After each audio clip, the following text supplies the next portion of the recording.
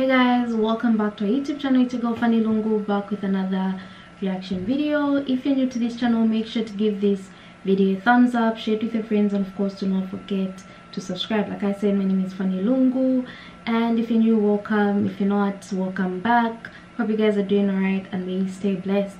You can find us on instagram and facebook as Fanny and Jessy and just feel free to go there hit us up say hi we'll say hi back and yeah check out my blog morning coffee with Fanny and just enjoy the positive blogs that i put out there.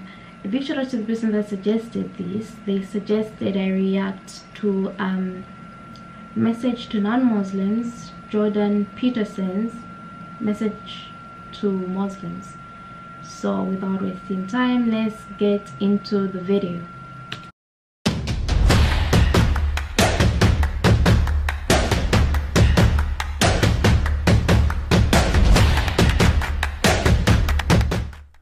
Welcome to this special edition of the CJ Werleman Show. I'm CJ Werleman. Thank you for joining us. But first, a quick reminder to click on the subscribe button below so you never miss a single episode. Now let's get into it. Jordan Peterson, a pseudo intellectual who's widely popular among sexually insecure, non college educated, white middle class men, has published a message to Muslims, to the 5 million subscribers on his YouTube channel.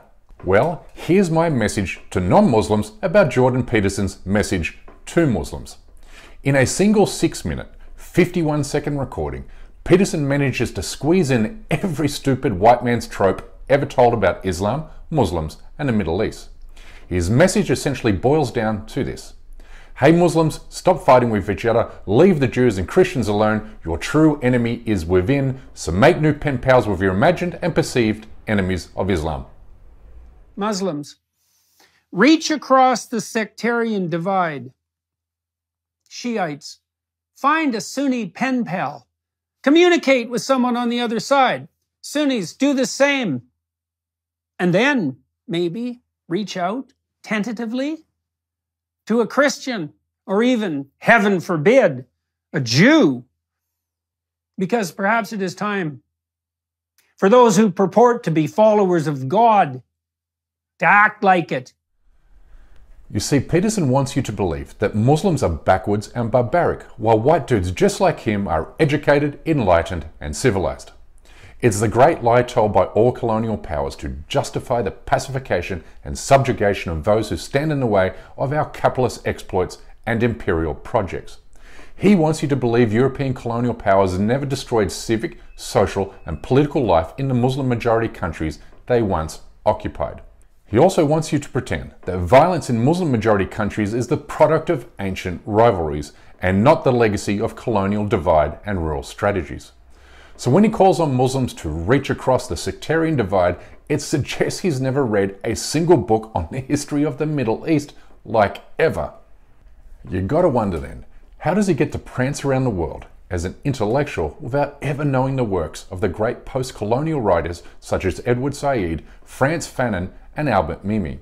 But if somehow he accidentally trips on the sidewalk and falls face first into a fucking library, he will learn that sectarianism in the Muslim world was harnessed and fueled by European colonial powers who sought to plunder Muslim lands by dividing and conquering indigenous Muslim populations. Divide and rule is how France conquered Syria in elevating the Shia Alawite minority to rule over the Sunni majority. And Britain did this in Iraq by privileging the Sunni minority to rule over the country's Shia majority. It's how we ended up with dictators Saddam Hussein and Bashar al Assad. This is basic first year undergraduate post colonial stuff, but Peterson doesn't get it, even though he holds a PhD. So tell me, Jordan, how does a Sunni in Iran or a Shiite in Saudi Arabia reach across to their sectarian counterparts when doing so will get them arrested for plotting a seditious conspiracy against their respective sectarian regimes?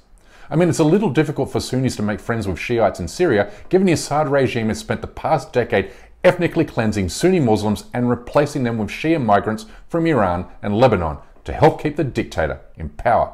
And tell me, Jordan, how do Muslims in Gaza reach out to the Jews in Israel? When two million Palestinians are permanently caged in the world's largest open air concentration camp by the apartheid Israeli regime, which so happens to be supported by the government of your country, Canada. But Peterson knows all this. He might not be the brightest bulb in the tanning bed, but he's not a total imbecile, so it's pretty obvious he's carrying the water for covert political aims. For whom? Well, let's start with the fact that somehow Peterson has attracted a significant Muslim audience, and he says so here. I have been informed by many sources and also observed online, not least because of my discussions with a variety of Muslim thinkers, supporters, and critics, that I have developed an audience in the Muslim world. But here comes the tell. He pivots to praising the Abraham Accords, or what former President Trump called his deal of the century. Extraordinary Abraham Accords, which have laid out the possibility for peace between all the people of the book in an unprecedented manner. This suggests the Israel lobby has got to him, the same way it often gets to those with significant Muslim audiences, like it did when it co opted Sheikh Yusuf Hamza and when it infiltrated the Council on American Islamic Relations to spy on American Muslims. This is what Israel does. And now we have Peterson parroting pro Israel talking points on the Abraham Accords, which he praises for advancing peace. But this is total nonsense. Life has spiraled downwards for Palestinians since Arab governments betrayed them in signing the Abraham Accords two years ago. Israeli forces have since carried out violent and deadly raids on Palestinian worshippers at Al Aqsa Mosque, bombed Gaza relentlessly, killing 260 people, including 67 children, in a single 11 day period last year. Entire Palestinian families are being violently expelled from their homes in occupied Jerusalem and the West Bank, while settler terrorist attacks increase in both frequency and ferocity. How can any Muslim in good conscience make a pen pal with Jews that are stealing their land and homes and bombing them in steel cages? But Peterson knows he's being ridiculous. He's only repeating rehearsed lines given to him by the Israel lobby. And if somehow my radar is off and he's not advancing the interests of Israel for personal gain, well, then he's even dumber than we thought. Because what we would have here is a rich white dude living securely in a safe and prosperous nation urging Uyghur Muslims to make pen pals with the same Chinese people that are exterminating them in Xinjiang. He would also be encouraging Rohingya Muslims in Myanmar to make friends with the same Buddhist militias that murdered and raped more than 50,000 of their friends and family members. Yeah, and good luck getting Muslims in India and Kashmir to write sweet letters to the same Hindu nationalist forces that have pushed them to the brink of genocide. If he's not a paid agent of Israel, then he's just a total moron which would explain why he dresses up his lies and ignorance with pseudo intellectual gobbledygook to make you believe he actually knows what he's talking about. Point out that it is not the individual carriers of the woke, politically correct, degenerate neo Marxist ideas that should be regarded as the enemy either. You see, Peterson's special gift is impersonating what a stupid person thinks a smart person sounds like. But ultimately, he knows nothing about Islam, Muslims, and the Middle East. And he made this perfectly clear in his message to Muslims. I hope non Muslims are listening. Anyway, that's a wrap for today.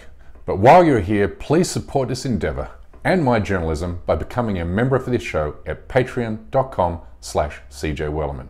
We can't produce, sustain, and grow this endeavor without your help, and we offer exclusive benefits to those who do. But for now, good night, good morning, or good day, wherever you are, and stay blessed.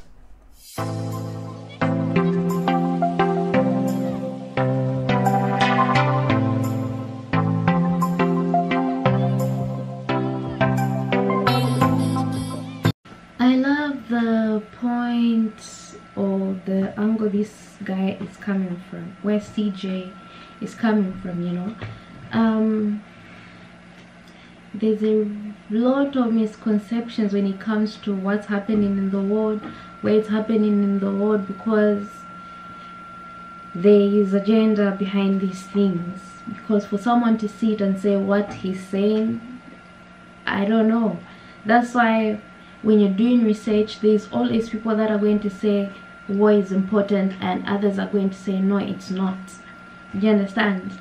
Uh, which side you decide to go with is really up to you but this shows again ignorance ignorance you come first of all you come to this country in the name of peace then create an explosive group that just goes wild with their antics and what they do to the country what they do to the populations. You divide and conquer this country. I guess you've achieved what you wanted to achieve. And when they and when they start fighting against you they become the bad guy. How are they the bad guys? When you created them. We have to ask ourselves many many things. And then videos like this uh, not what he was reacting to not what he was speaking to but what his his opinion or mine videos like this will always be limited or censored to, to a certain point or just not pushed to reach people out there. Stop believing everything you see in the news. Stop believing what you see in the in the media. Stop believing people that clearly have this agenda or someone is supporting them to push this agenda you really really have to be careful with the information that you take in. Because someone is going to sit and say yeah they should just it's not that simple it's not that simple. As long as the person that came to divide and conquer has achieved what they're doing they'll continue to uh, support this division as long as there's confusion at home. I hope you understand what i'm saying um, let me know what you guys actually think about this. Uh, make sure to give this video a thumbs up share it with your friends and of course do not forget to subscribe and i'll see you in my next reaction video